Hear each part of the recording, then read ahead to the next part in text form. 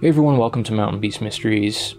There's a lot of stories of UFO um, experiences out there, cases where people are in actual contact with beings from other worlds, some sort of alien beings.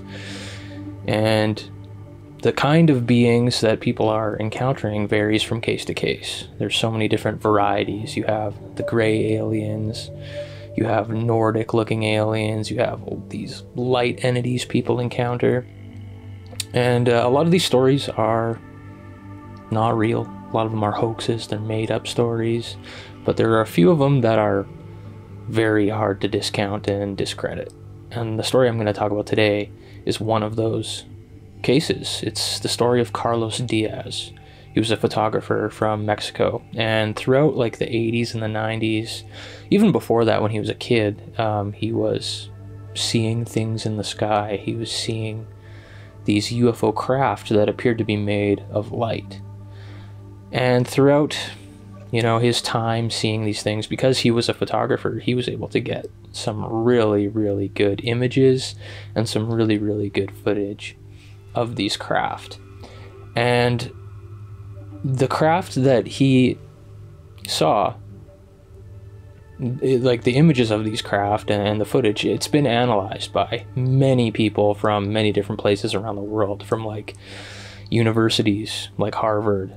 Like it's been looked at by very serious people who know what they're doing and in most cases they're like yeah this is this has to be legit. They can't discount his images because when they're put up to scrutiny and, and, like detailed analysis, it's really really hard to debunk them. They they do appear to be genuine. Um, but the craft, you can see some of them here. They they are orange light ships of some kind. They appear to be made of light. They don't have sharp edges on them. They're not metallic. They're not the typical UFO saucer. They're very smooth looking, almost organic looking. And it's very interesting because it's described like these craft are described as being made of light. Or if you look even further into the story he describes them as being made out of some sort of plasma of some kind. And it's the plasma that you would find like in your body. That kind of plasma. They're almost organic in nature. And I find that fascinating. Supposedly, the way these craft are piloted is that the beings that are inside of them, controlling them, are actually somehow connected to the craft itself. It's not like they're in like the cockpit and they're moving around joysticks and pushing buttons and whatnot. They're actually connected either biologically or consciously somehow to the craft and they're able to fly them around. These craft have no doors on them or anything like that. To enter the craft, supposedly you can just walk right into it. And that is pretty amazing. What are these things? How is that even possible to be inside of something and to be able to fly around inside of it, yet, you know, you can walk in and out of it just by walking right into it? How do you stay inside of it? Like, what kind of technology is that? It's pretty crazy stuff. But this is all supposedly what these things are, you know, according to Carlos Diaz. Um, the, the cool thing is, is that these craft were seen by many other people in the area. Uh, these were seen in a place called Tepoztlan, uh, Mexico. And um, coincidentally, there's like an old, I think uh, like a 900 year old pyramid in the area. There's lots of old ruins and whatnot. And um, that's generally where these things have been seen. Uh, in 1981, he had his first major encounter with one of these light ships. He had seen them back when he was a kid, but like he started really having like close contact experiences in the early 80s. In 1981, he was uh, driving out to a place called Ajusco National Park, I believe it was called, and uh, he was on an assignment with a magazine that he was working for. And uh, I think it was to document the sunrise, take some sort of sunrise photos and whatnot. So he had a camera with him. This was in the middle of the night. He's driving out to this place. You know, he wants to get there for the sunrise. He's supposed to meet somebody else there. a journalist of some kind. Uh, but he notices a light. Turns out this thing's a UFO craft. It's one of these orange light ships. And um, he's in his car, he's sitting in the driver's seat, he takes his camera and he rests it on the steering wheel and he starts snapping photos of this thing. So yeah, he, he fires off a bunch of shots and uh, out of nowhere, his car starts shaking. So he gets out of the car, and while he's standing outside of the car, he's he's got his camera resting up against it, and he, he takes a few more shots of it flying away, and it flies away relatively fast, disappears. Sometimes these craft like will appear out of nowhere, and they'll just be hovering there, and they'll have like a strange kind of wobble to them. Uh, and they can just disappear into thin air. They don't have to like travel away. They can just appear and disappear which is really interesting. There's a lot of uh, cases of craft doing that. Um, but yeah that was in january of 1981 so after this experience happened he was like so amazed by it he was so close to this craft which you look at these photographs and it looks like these things are, are close because of the size of the craft. But like th- all the photographs and all the videos been analyzed and uh, apparently they estimate this ship or these ships. I don't know if they're all different ones or if they're the same craft but apparently they're like at least 60 feet in diameter. So they're pretty big and to see something like that in the sky up close must be like pretty amazing uh, but he was in shock from that experience and um, multiple times he went back there to try and see if it would happen again for like I think it was like two months or so, two and a half months. When he he did go back one day, it was in March, late March. Um, and it was like a really rainy day, it was a really foggy day, like terrible weather, and he ends up going out to this spot and there was a fork in the road that would go to the place where he had that first encounter where he was in his car. Um, but the weather was so bad, and he probably had a lot on his mind, and it was like foggy and everything. He ended up driving, taking like a wrong turn, and going down the wrong road, where he ended up seeing a light again in the in the fog and in the mist. And uh, he gets out of his car, and uh, he ends up hiking like up a slope, up a valley slope, like a hill, where he can get a better view and eventually this thing is like 45 meters away from him or something. It's relatively close where he can make observations of it. And uh, he was kind of hiding on the slope behind some rocks. Um, you know, totally surprised to see it again after two and a half months. And he, he has time to make observations. He said that, like, he was over and over again observing it in, in his head and taking mental notes of what the craft looked like, all the details, because I guess on that experience, he didn't have his camera with him. Um, but, anyways, he's watching this craft, and out of nowhere, apparently, he felt someone's hand on his shoulder. And then he passes out. When he comes to, he's in the far, like in the jungle, and his clothes are dry, which doesn't make any sense. That's how he knew something weird happened, and he was gone for a while because when he got out of his car to walk up that hill, like it was rainy and foggy and his clothes got wet and everything. But when he came to, after he fainted and passed out, his clothes were dry. And, anyways, he ends up getting out of there. He makes it back to his car. He's able to find his car. And, um, parked by his car is another vehicle. All of a sudden, there's like a red Volkswagen, some model of Volkswagen and there's a guy there. So Carlos gets in his car, and this other guy walks up to him.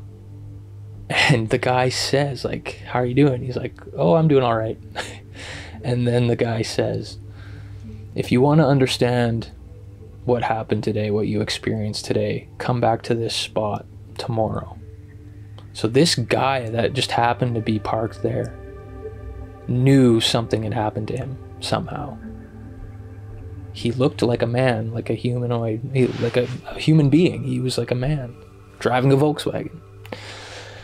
So, anyways, the next day, Carlos comes back, and that guy is there but there's supposedly like 20 or so kids all around him being entertained by him. I guess he was telling some sort of story or describing to them like the nature of existence here on earth and the relationship between like us and the natural world. He was telling them something along those lines. And then he noticed Carlos was there watching. He actually came back. He noticed him. Um, then he gave the kids some toys to play with, like some balls or something. And then he, you know, approached Carlos and started talking to him and explaining it to him that um, the stuff he experienced, I can't tell you everything, everything right away because it'll be too much, like too much of a shock. So you'll find out slowly over time everything that happened during that experience. And supposedly he was like taken to some sort of cave where there were other beings and other light ships like inside this cave hiding out somewhere. And he was shown all, all sorts of things. But um, that was the first contact experience he had.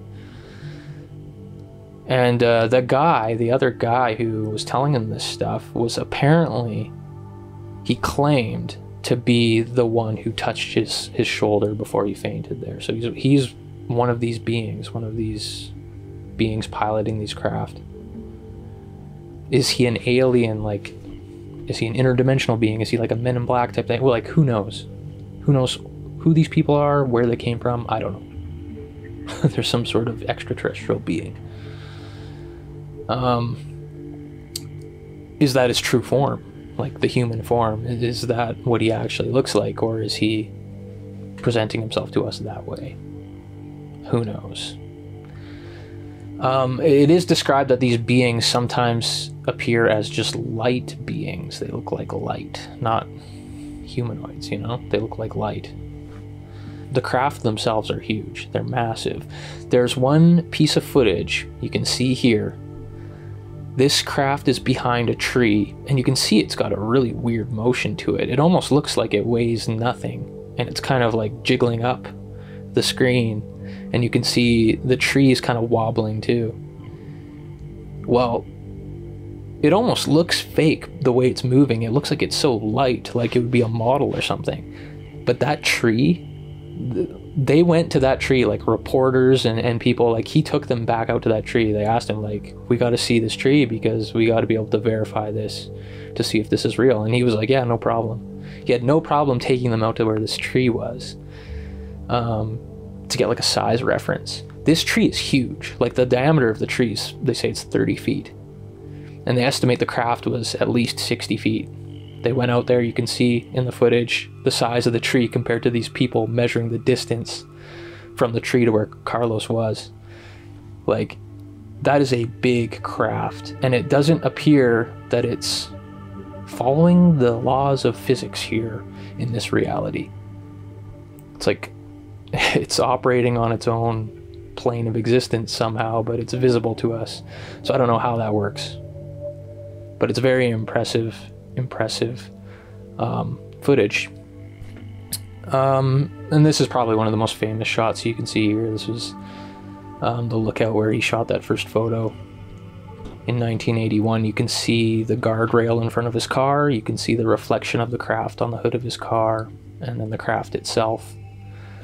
Obscured kind of on the sides by the trees and vegetation, is really hard to fake, especially with something that big like there's a lot of these UFO cases that have been debunked. Like I'm gonna bring up the Billy Meier case. Billy Meier had hundreds of photos, uh, video examples, um, lots of notes that he had written on his UFO contact case. But it's been debunked. Like the guy was taking pictures of like things in books and trying to say that they're real. Like he was taking pictures of pictures that were in books pictures of dinosaurs and then he would say like oh the, these aliens took me back in time to see dinosaurs and i got these pictures. Well they were just pictures of illustrations in a book. And then he would do that uh, with stuff that he would see on tv like he took a picture of these act- actresses on this show and then he said that they were these alien beings that he was encountering well he was just taking pictures of his tv screen like he was doing stuff like that it was, it's all been debunked the billy Meier case Yet this Carlos Diaz case, they couldn't debunk it. And they had like some serious people looking into it. Um, one guy gave him a camera. He said, "You keep this camera and you leave it running all night. Like, try to get footage. I want you to film this thing on this camera." And he like would. He would do all this stuff, and he would accomplish all the goals. He would get the footage. Um, and like I said, like everyone else, a lot of other people in the area were seeing these same craft. Other people were getting footage. It wasn't just him. So there was definitely something going on. And there have been, I, have noticed other people from around the world who have captured similar craft on camera. So, yeah, this is probably one of the best long term UFO contact cases out there. There's a documentary called The Ships of Light. Uh, I have a link down below in the description if you want to check it out and hear the story from Carlos himself being interviewed on camera. Um, his family's in the documentary, like his parents, saying like, yeah, like he was seeing this stuff when he was a kid. Like he took pictures out his bedroom window. Him and his brother, I guess, shared a bedroom. And his brother wanted nothing to do with the UFO stuff because it freaked him out. But Carlos would see these things out the window, and he took pictures of them back when he was a kid. That's usually what happens. Is these people in, at, some point in adult life will start experiencing this stuff and then they'll realize, you know, oh, this has been happening actually for quite a while. Or they'll remember being a kid and actually seeing this stuff. It usually goes one of those two ways. I woke up by a strange feeling in my solar plexus. I saw a light reflecting on the wall, and it entered from a small triangular opening the curtain left from the window. I got very curious, and so I got up and looked out of the window to see what was going on. When I opened the curtain very slowly, I saw up in the sky a yellow object, very much in the shape of an egg, which was suspended there. I shared the bedroom with my brother, so I called him immediately and said, Antonio, Antonio, come and see. There's a UFO. He put his blanket above his head and said, What? A UFO? I don't want to see a UFO. I want to sleep. So I kept on looking at the object for some moment, and then the object left with a very high speed. The next day I set the alarm clock for the same hour I saw the object that day. And I was waiting that it returns. And indeed, I saw the object again. And after a few seconds, the object flew away again. So on the fourth day, I had my camera ready on a tripod with a cord trigger. The object came from east to west over the city, and I was able to take a picture. I opened the shutter for four seconds. I was afraid it would fly away, and I captured it on film. I was very glad I did that to have an evidence in my hands for my brother. Anyways, you guys can look deeper into this case uh, with the links I have down below.